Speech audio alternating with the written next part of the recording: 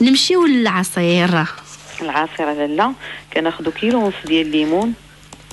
كيلو ونص ليمون؟ أييه. وكيلو ونص خيزو. كيلو ونص خيزو. أييه. أييه. كناخذوا الليمون كنحكوا له دوك الزيس ديالو الفوقاني كناخذوا هي ديك القشيرة بلا ما نوصلوا لذاك اللب المار واخا. أييه. القشيرة. مهم. كنحطوا حدانا الكوكوط ديالنا اللي وجدناها كنزلوها فيها. واخا شنو غنوجدو؟ دابا حكينا القشيرات كنديروهم فيها. إذا نوضعوا اييه القشرة اييه كنقشروا الليمونة كنحيدوا لها داك الابيض اللي كيبقى من الفوق داك اللب. الابيض مهم. كنقشروها. وكنقطعوها من الوسط ديالها باش نشوفوا إلا كاين شي عظيمات ولا شي أييه، حاجة. كنحيدوهم. اييه وكنقرضوا ديك الليمونة وكنلوحوها حتى هي في الكوكوط ها هي اييه كناخذوا داك الكيلو ونص د خيزو تا هو كنقيوه كامل وكنقطعوه قطع كبيرة ماشي مشكل إنه يكون رقيق. وكنديروه مع الليمون في, في الكوكوط. وكنديروا عليهم يطرد الماء واخا يطرد الماء. إذا اللتر ديال الماء. كنطيبوهم نص ساعه نص ساعة. على نار مهيلة ملي تبدأ الكوكوط كتصفر نقصوا عليها العافية. أييه. كنخليو النار مهيلة أييه. وكنخليوه تما كيطيب على خاطرو بديك المي هذيك الماء ديك اللي أيه. يطرو وعاد هو خلاص راه الليمون والخيزو كيطلقوا الماء ديالو. أييه. ملي كيتسلقوا لنا مزيان كنخليهم حتى كيبردوا تماما. بحال دابا. مثلا كاع نقدر أنا نطيبهم اليوم بالليل ونبيتهم. أييه بقاو. أولا من الصباح للعشيه يبردوا مزيان. كناخذوا الخلاط الكهربائي. يا الخلاط. وكنبداو كنهزو بحال إلا كنطحنوا الصوبه كنهزو بديك الشبيكة هكا ونديرو في بالماء بخيزو بالليمون بالقشور ديال الليمون في- المهم نعم داكشي اللي في الكوكوط كله غيتطحن مع. بعضياته اييه واضح المياه بكل شيء ليه واضح اييه وملي كنطحنوا هذا الشيء كله. كنكونوا منزلين حدانا البيدو ديال اللي كيتسخوى من الماء ديال 5 يطرو مهم. كنديروا فيه داك الشيء اللي طحناه كنكبوه فيه هاد الع- هاد العصير بالنسبة لهاد العصير ما كيحتاجش يتصفى. لأن كل شيء طايب كل شيء مهم. كيذوب عندنا.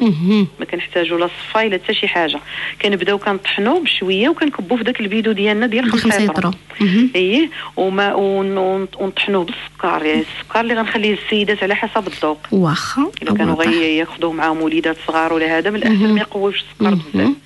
كنبداو كنطحنوا كنزلوا في داك البيدو ديالنا. من بعد هذاك البيدو ملي كنخويو فيه العصير ديالنا كامل كنعمروا عليه الماء ديك الخمسة يطرو كلها خصها تكون عامرة آه أها هذا كيعطينا هاد كيلو ونص ليمون في كيلو ونص خيزو في يطرو ديال الماء خمسة يطرو عصير آه وكنحتفظوا بداك البيدو ديالنا في الثلاجة. راه ما كيوقع له حتى شي حاجة يبقى. عندك 15 يوم 10 أيام على حسب. الاستهلاك ديالك مهم. وكتبداي كتجبدي عندك وليدات هكا ديري لهم في داك الكويس اللي فيه ديك السفافه عندك. وليد باغي يرضع ديري له في ال biberon. كنقدموه للضياف وإلا بغينا نزيدو ندخلوا عليه تحسينات من هذاك النيت كناخذوا عصيرات أخرين. نعم. مثلا غطحني فيه fraise مهم. اولا غناخذوا واحد حامض.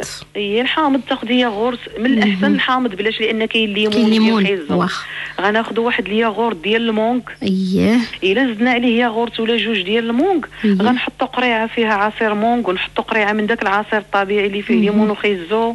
ونحطوا وحيدة بال fraise غتعطيك لون آخر ومذاق ما آخر. الفرق. هو غ... هو la base والأساس راه هو العصير. هذا راه كيطيبتيه وطحنتيه نعم. وهذيك الخمسة يطرو كنخرجوا منها عصيرات وأشكال وأنواع إلى جاوك الضياف يعني ما نعم. كتحتاجيش ت- ت- تحيري شنو غتنزلي ولا شنو غتحطي. ساهل و...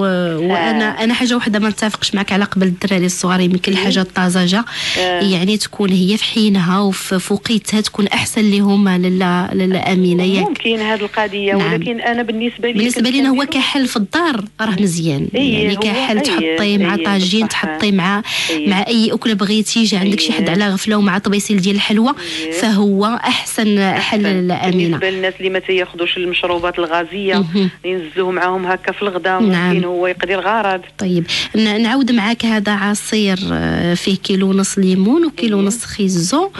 آه بالنسبة لليمون نحكو القشرة آه ديالو ناخذوا الكوكوت نوضعوا فيها هاد القشره ثم داك الليمون طروفه من بعد ما نقيناه من ديك القشرة ديالو البيضاء وحيدنا العظم. نزيدوا هاد كيلو ونص ديال الخيزو اللي غيكون منقي ومقطع قطع صغيرة كذلك نوضعوه كذلك مع هاد مع هاد الخليط هذا ونزيدوا لتر ديال الماء. نعطيوه نص ساعة على نار مهيلة آه، فوق العافية. ومن بعد ما يبرد نبداو نوضعوه في الخلاط الكهربائي.